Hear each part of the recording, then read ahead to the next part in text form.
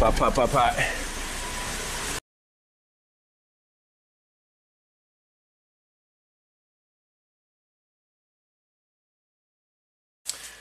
Everyone, welcome back to Pine Hollow Auto Diagnostics. The Volvo S60 is back. This is the one where we replaced the fuel pump. This was months ago. Now the owner said uh, he's driving along and then it started shaking violently and he lost power. Then it was fine for a few days. Yeah, for a few days. And now it's just dead. Like uh, it feels like a single cylinder misfire. And it says no power. And it shakes shakes like crazy. We'll pull the codes. Here we go in the engine computer. Outside temperature sensor signal too low.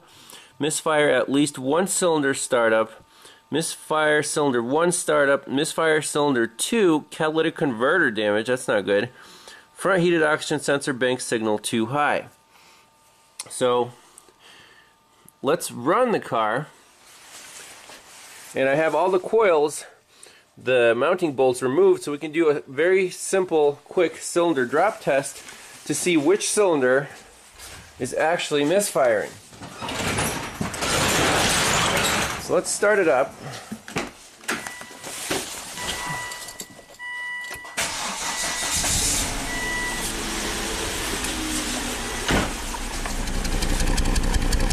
Pop, pop, pop, pop. So it's either one or two, right? Let's try number one.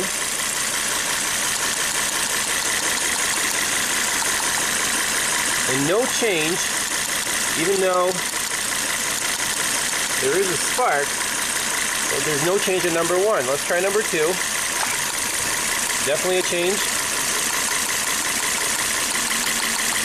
Yes, number two works.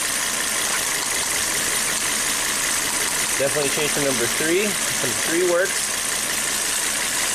Number four. Yep, definitely a change. And number five.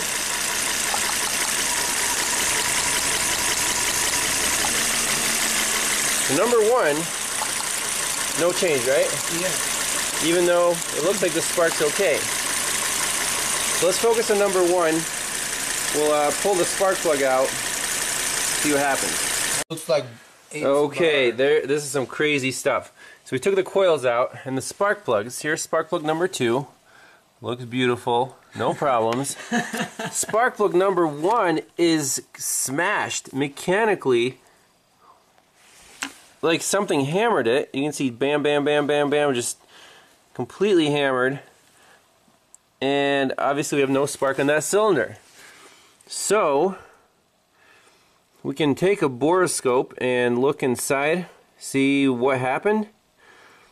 Like something got sucked in there. Now this is a turbocharged car, and what the heck could have gotten sucked into the cylinder? I mean, the turbo, see there's the intercooler, and let's see, the turbo is, where's our turbo? Do you see the turbo? I have no idea. There's the air intake. Turbo is like behind. It's right there. So I hope the turbo's okay.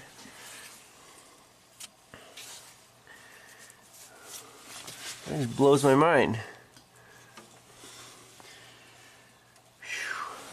So this is intake manifold. There's the throttle body. This comes from the intercooler. That goes to the intercooler. Let's take a look inside and see uh, see what we find. So using our Teslong NTS 500 borescope, I'm just going inside the cylinder using the side view camera to look at the valves and see what what is going on in here. Do we see anything crazy or bad?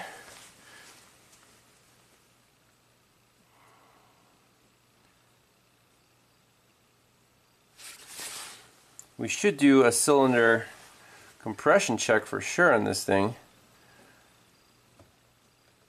Is something something got in there and you can see the surface of the head has like little pit mark. So something was jumping around in there and causing uh, causing some damage.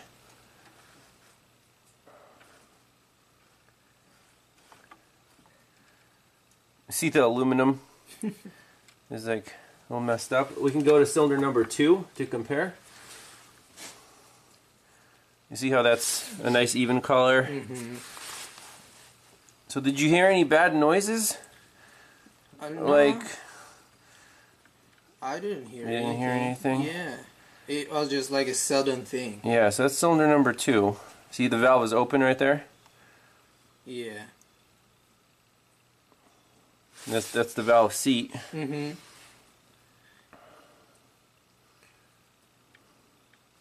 Cylinder number one.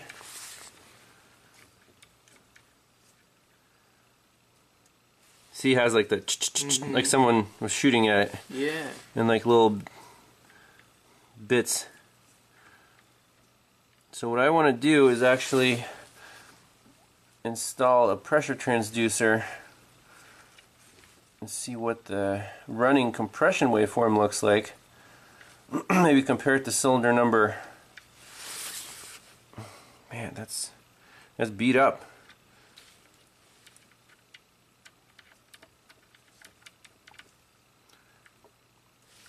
The piston itself, you can also see is has little pits on it, and obviously it's oily and wet because it wasn't firing. Number two, there's number two. Looks dry. And that's that's normal.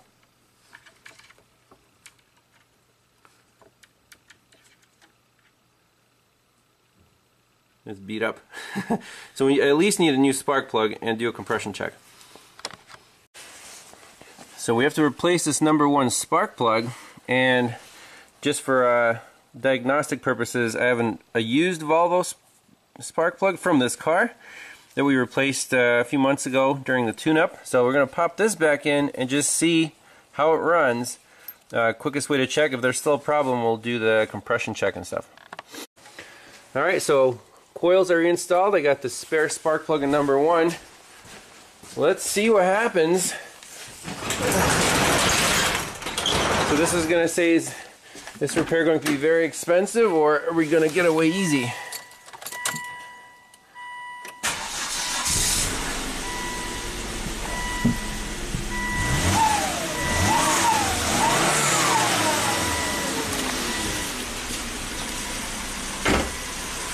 So it's still misfiring, but it sounded better, right? Yeah.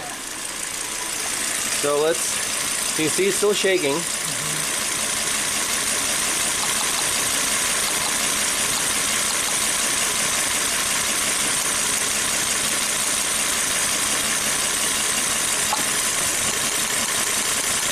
Obviously a big change.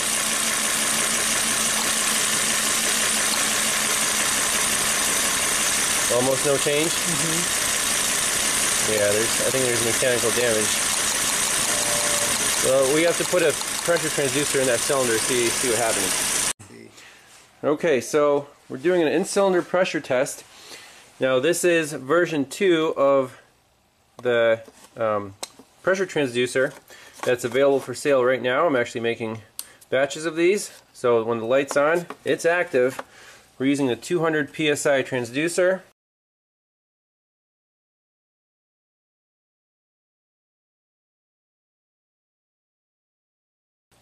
With a regular compression hose and then a sync on the number one coil and the spark plug is grounded against the cylinder head.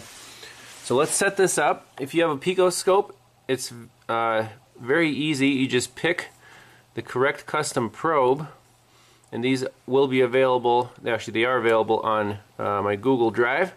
So if you order one of these, I'll send you a link and you can download the pico scales for uh, no extra charge. So that's channel 1. Channel 2, let's do uh, plus or minus 20 volts. And the scale here, see right here, it's minus 15 to 225. So the pressure transducer is on. It's ready to go. So let's fire it up and see what happens there.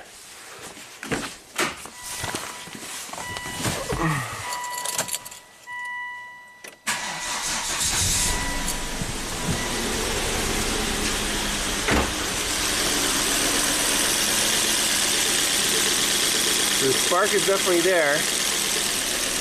There's our in-cylinder pressure. Let's rev it up.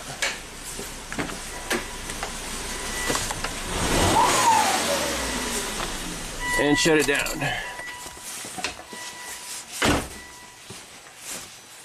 Okay. Now let's back up. So here's our entire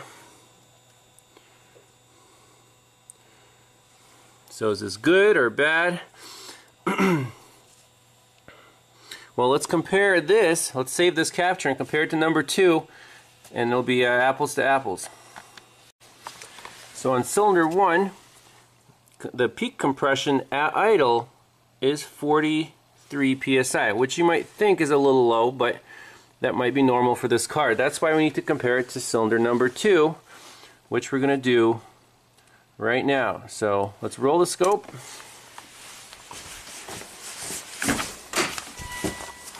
Do the same. So fire it up.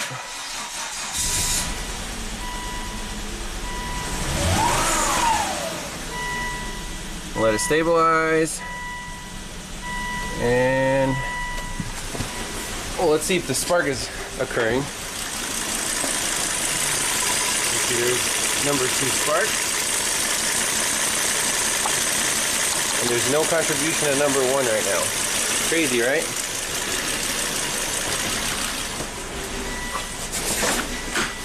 Now check engine lights flashing.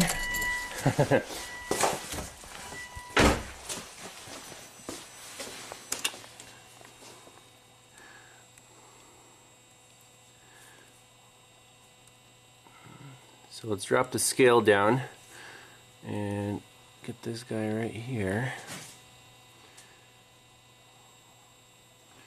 Okay, what's our peak compression here? This is definitely a big difference.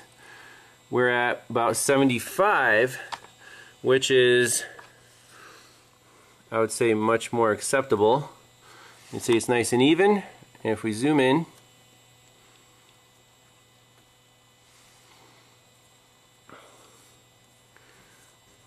we can compare these two waveforms, but there's definitely a big difference.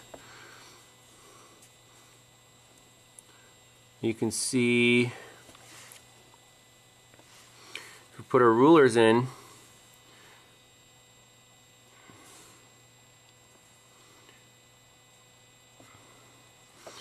how the exhaust plateau is much more flat. It seems like there's some turbulence in number one but the peak compression is definitely like 30 psi too low. That's why we have a misfire in cylinder one right now. But we can take it for a test drive. It seems to be doing a little better, but if we put it under load and spool it up,